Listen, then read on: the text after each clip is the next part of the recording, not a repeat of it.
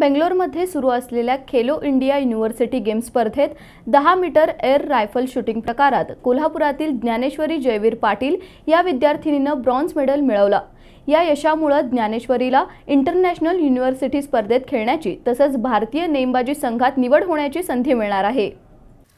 Khelo India university games स्पर्धा सध्या बेंगलोरमध्ये सुरू आहे. या स्पर्धेत नेमबाजी क्रीडा प्रकारात शिवाजी विद्यापीठातील सात खेळाडूंचं पथक सहभागी झालंय. त्यापैकी ज्ञानेश्वरी जयवीर पाटील या विवेकानंद कॉलेजच्या विद्यार्थिनीनं दहा मीटर एअर रायफल शूटिंग स्पर्धेत वैयक्तिक गटात ब्रॉन्झ मेडल पटकावलंय. या स्पर्धेत देशातील दोनशे दोन विद्यापीठांमधील खेळाडूंनी सहभाग घेतलाय.